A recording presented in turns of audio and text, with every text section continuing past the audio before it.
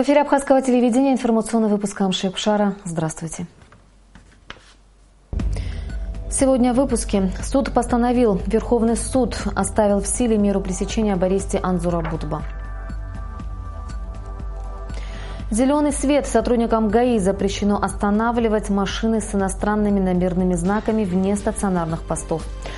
Несмолкаемые овации Вениамина Смехова ожидал аншлаг в Абхазии.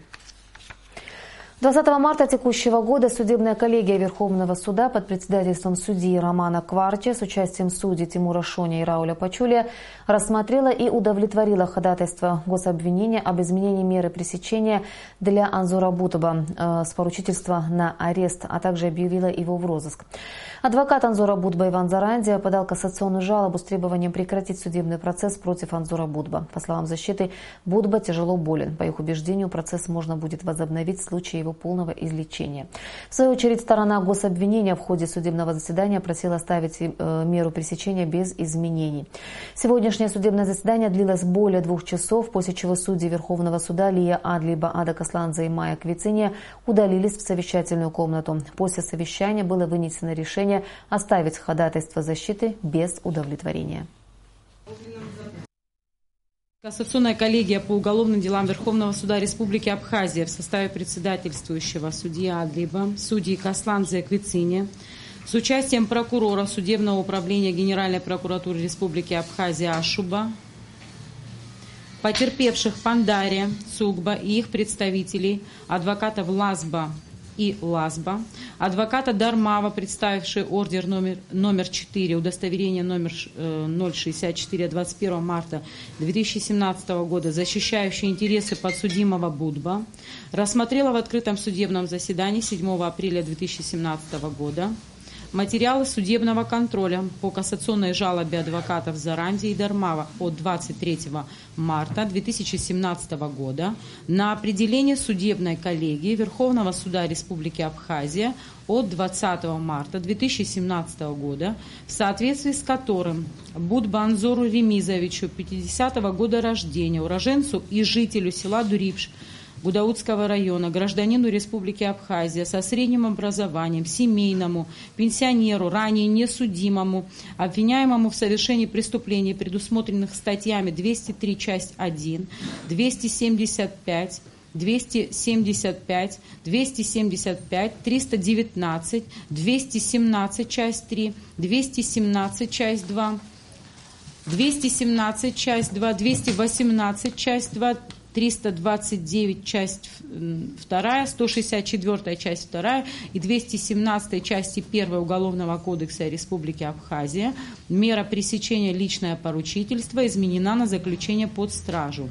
Указанным определением Будба объявлен в розыск и производство по уголовному делу приостановлено до его розыска. Заслушав доклад председательствующего судьи Адлиба, выступление защитника адвоката Дармава, поддержавшего доводы кассационной жалобы, мнение прокурора, потерпевших и их представителей, полагавших оставить определение судебной коллегии Верховного суда Республики Абхазия от 20 марта 2017 года без изменения, Кассационная коллегия по уголовным делам Верховного суда Республики Абхазия, руководствуясь статьями 344, 347.2 Уголовно-процессуального кодекса Республики Абхазия, определила определение судебной коллегии Верховного суда Республики Абхазия от 20 марта 2017 года об изменении меры пресечения в отношении подсудимого Будба Анзора Ремизовича оставить без изменения – а кассационную жалобу адвокатов Заранди и Дармава без удовлетворения. Судьи Адлиба, Касланзе и Крицини. Сотрудникам ГАИ МВД Республики, патрулирующим автодороги, запрещено останавливать и досматривать автотранспорт с иностранными госномерными знаками вне стационарных постов ДПС, за исключением городов и районных центров. Об этом соответствующий приказ подписал министр внутренних дел Абхазии Аслан Кобахи. В приказе также отмечено, что можно останавливать и досматривать иностранный автотранспорт на стационарных постах ДПС при получении ориентировок. В Министерстве иностранных дел Абхазии с глубокой озабоченностью восприняли ракетные удары по правительственным войскам Сирийской Арабской Республики, нанесенные США в ночь на 7 апреля. В распространенном заявлении МИД Абхазии говорится, что это военная акция, совершенная в нарушение международного права и под сомнительным предлогом является актом открытой агрессии против суверенного государства. Подобные действия э, США наносят серьезный урон усилиям Российской Федерации и легитимного правительства Сирийской Арабской Республики в борьбе с международным терроризмом и препятствуют созданию коалиции по э, противодействию этой общей угрозе. МИД Республики Абхазия решительно осуждает агрессивные действия американских военных военных и призывает международное сообщество дать адекватную оценку действиям США в Сирии, заявили в МИД Абхазии. 9 апреля пройдут выборы президента Южной Осетии и референдум по восстановлению древнего названия республики. Посольство Южной Осетии в Абхазии сообщает о том, что граждане Республики Южная Осетия, временно находящиеся и постоянно проживающие в Абхазии и имеющие действительные паспорта Республики Южная Осетия, смогут проголосовать с 8 часов утра до 20 часов вечера на избирательном участке номер 76 в здании посольства Южной Осетии по адресу город Сухум, улица Лакоба, 23.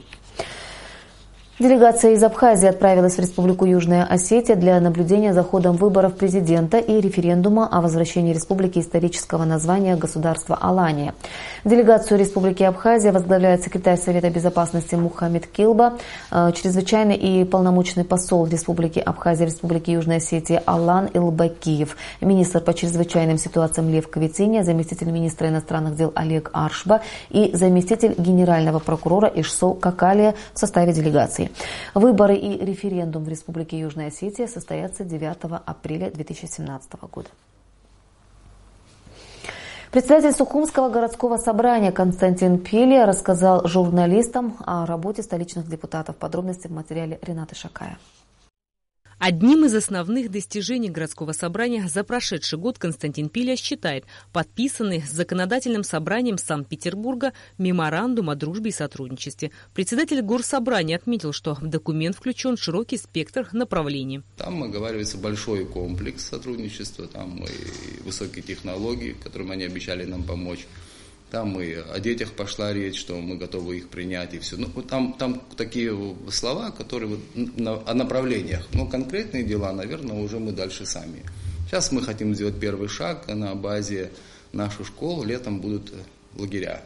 Ну, там 12 школа еще. Вот, э, разговаривали с нашим руководством что принять детишек Санкт-Петербурга на лето. Пытаемся это все сделать на бесплатной основе. Константин Пиля подчеркнул, что проделанную за год работу городского собрания можно считать плодотворной и добавил, что полномочия местного депутатского корпуса необходимо расширять. Говоря об отчете исполнения бюджета столичной администрации, Константин Пиля отметил, что в этом году бюджет выполнен на 101%, а расходная часть на 98%. Ранее в бюджете органов местного самоуправления оставались сверхбюджетные средства. Они уходили угодили частным лицам, которые обращались за помощью в городское собрание. По словам Константина Пиля, на данный момент бюджетное законодательство страны не позволяет использовать деньги для граждан, обратившихся за помощью. Все средства находятся в резервном фонде главы администрации.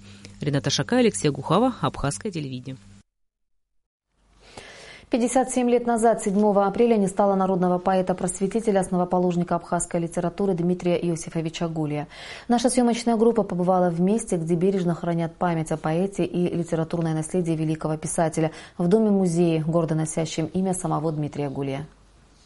Литературный музей Дмитрия Иосифовича расположен в центральной части Сухума, недалеко от площади Свободы. В небольшом белом здании писатель, поэт, историк, этнограф Дмитрий Гулия прожил много лет, создав произведения, вошедшие в Золотой фонд абхазской литературы. Дом-музей Дмитрия Гулия был открыт в 1974 году. Для посещения открыт рабочий кабинет писателя, в котором сохранились его личные вещи, фотографии, книги и рукописи. Невозможно переоценить роль Дмитрия Гулия в становлении абхазской языковой письменности и литературы культуры. Мы должны помнить о его наследии, э, деятельность, которая заключалась э, в развитии направлялась в развитие науки, литературы, культуры, э, театральной деятельности. Мы должны приумножать его наследие и не забывать то, что он нам оставил. Дмитрий Гуля родился в бедной крестьянской семье. Во время махаджирства вместе с семьей был выселен в Турцию. Однако его отцу удалось вернуть семью на родину. Дмитрий учился в учительской семинарии в Горе. Долгие годы работал учителем. В 1892 году вместе с Мачеваряне составил абхазскую азбуку. Гуля организовал и возглавил первую абхазскую театральную труппу. Был редактором первой абхазской газеты «Апсне». В доме музея выставлены личные вещи писателя, с которыми связана не одна история. По словам дочери э, Дмитрия Иосифовича Гуля, Татьяны Дмитриевны, а, мы знаем, что когда уже вот э, он э, умирал, посмотрел на свою супругу, и э, она поняла без слов, что он, что он хотел.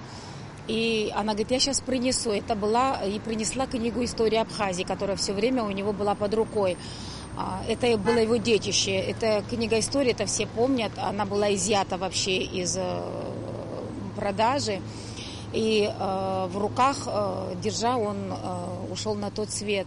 Эта книга сегодня экспонируется у нас в музее, она является нашим достоянием. Гуля – автор стихотворений, первой абхазской новеллы «Под чужим небом». Широко известен его роман «Камачич» о судьбе абхазской женщины в начале XX века.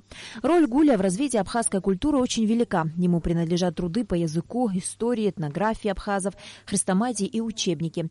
Похоронен народный поэт в городском парке в Сухуме, где ему установлен установлен памятник. На Алакове Саида Гухава, Абхазское телевидение.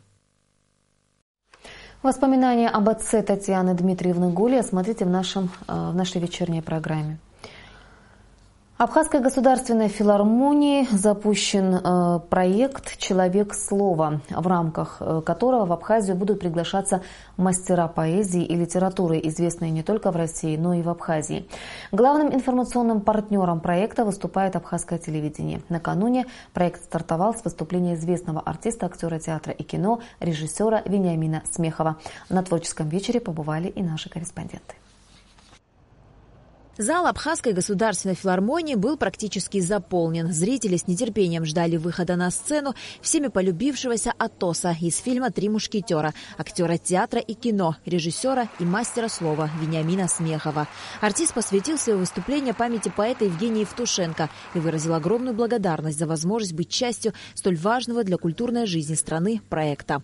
Я очень благодарен за то, что мне удалось сегодня увидеть вас – я очень благодарен э, необыкновенному человеку. Она сейчас ушла, поэтому не слышит.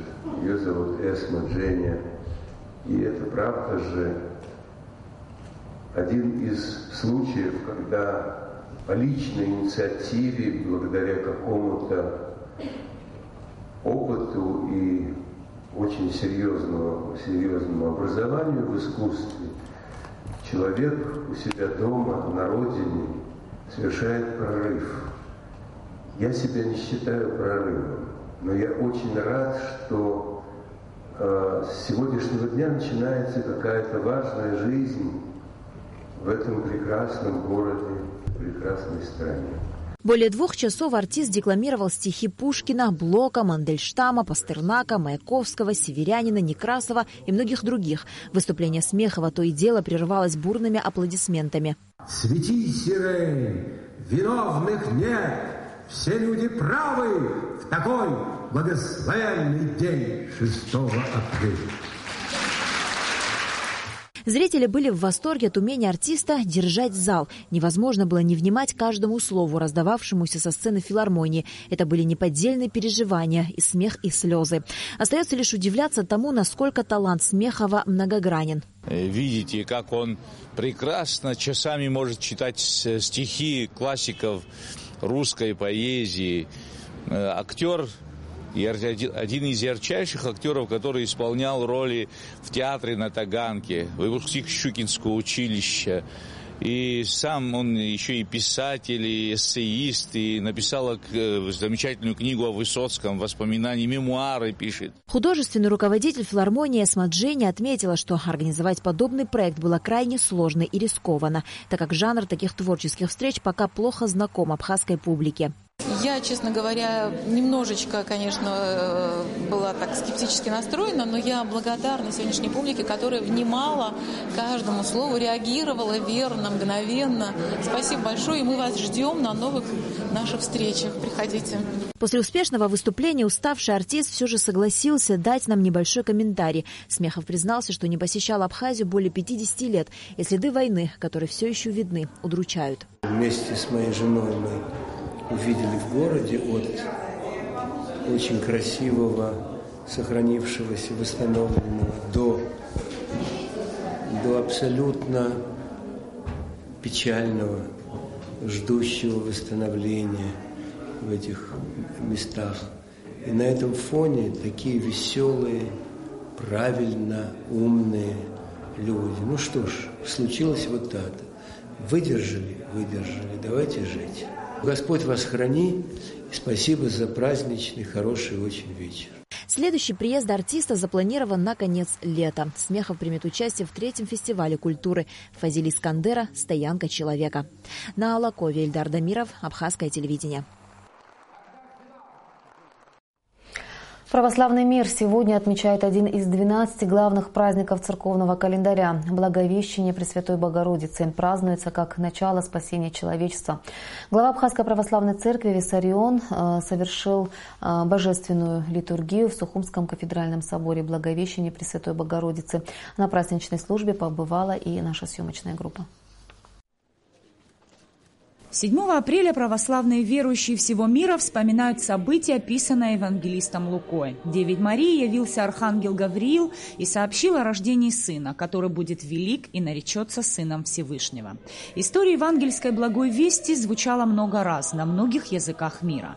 Начало нашего спасения могло состояться благодаря уникальным качествам Девы Марии, вере и смирению. С праздником вас! Возлюбленные братья и сестры. Сегодня православная церковь радуется благим, то благая и Богородица, которая является нашей ходатайцей на небе перед Сыном Своим, перед Богом нашим. И мы обращаемся к ней всегда, Пресвятая Богородица, спаси нас.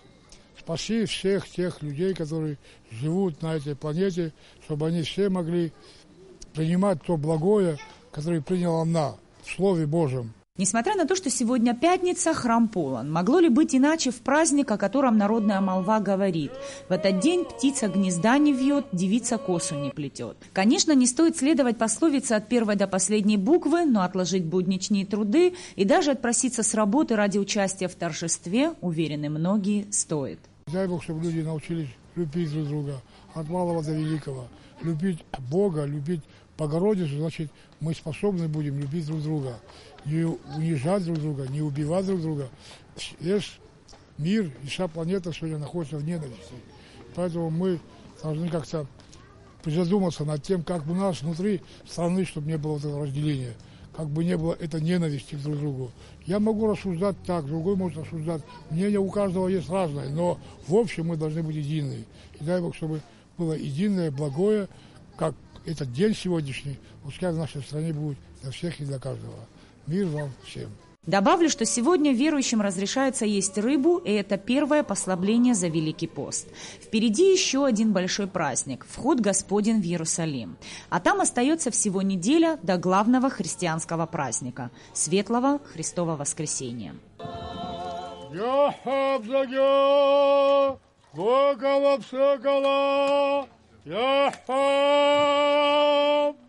Низ Фаршба, Роберт Ломия, Абхазское телевидение.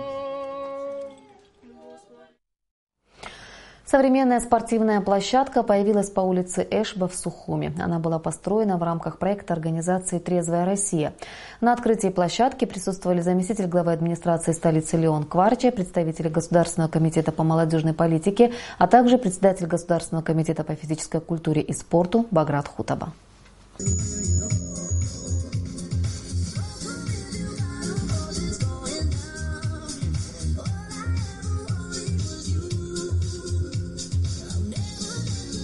Приемы акробатики на турнике показывает нам один из сотрудников проекта «Трезвая Россия». Для всех этих ребят спорт давно уже стал главным увлечением в жизни.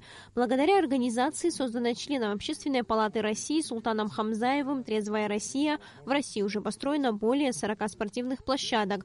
Буквально на днях была открыта спортплощадка и в Южной Осетии. И вот современная турниковая площадка теперь появилась и у нас в столице. По словам Султана Хамзаева, спорт должен быть доступным и бесплатным. Я вообще верю, что легендарные спортсмены, они все во дворах вышли.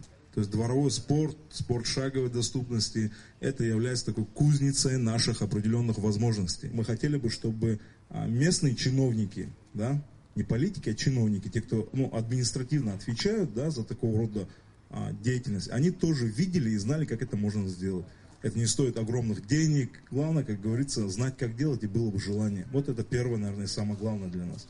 Поэтому а, мне, а, как я и сказал, приятно находиться здесь сегодня. Это не пустые слова. Для нас это важно вот в рамках проекта, чтобы вы понимали трезвая Россия, чтобы, а, знали, что в России есть гражданское общество, которому не все равно в вопросе развития социальной инфраструктуры Республики Абхазия.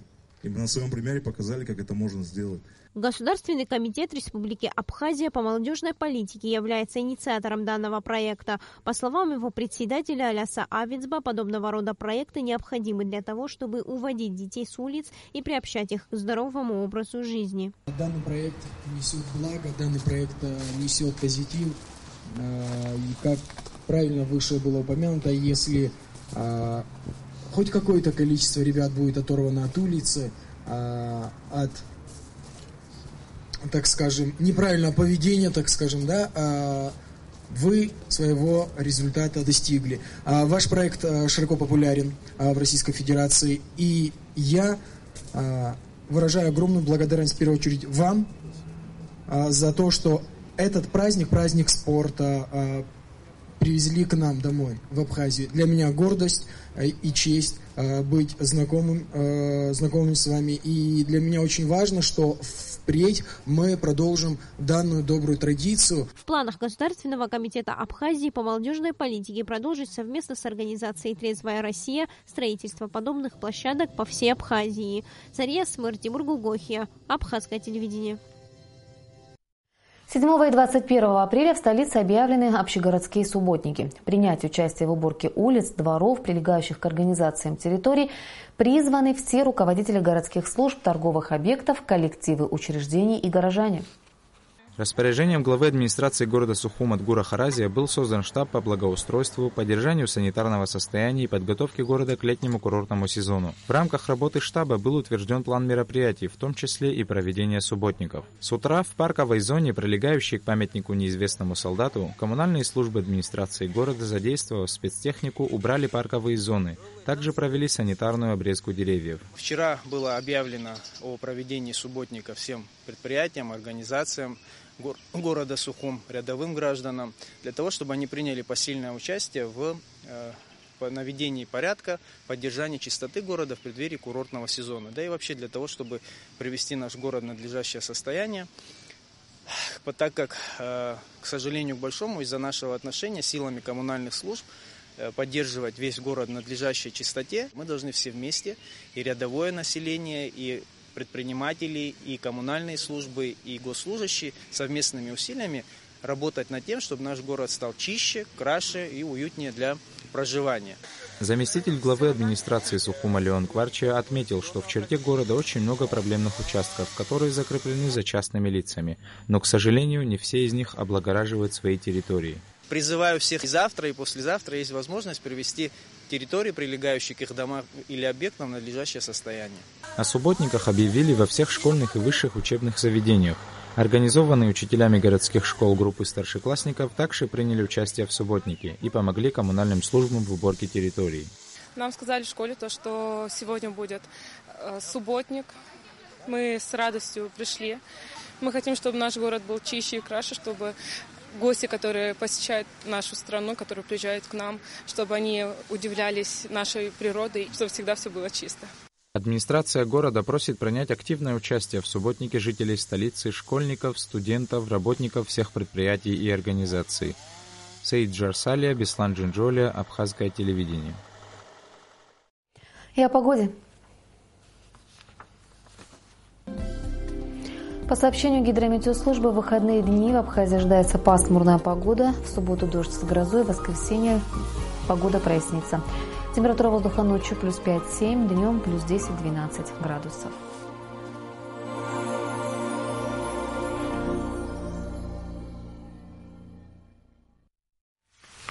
Информационный выпуск завершен. Я прощаюсь с вами. До встречи в эфире.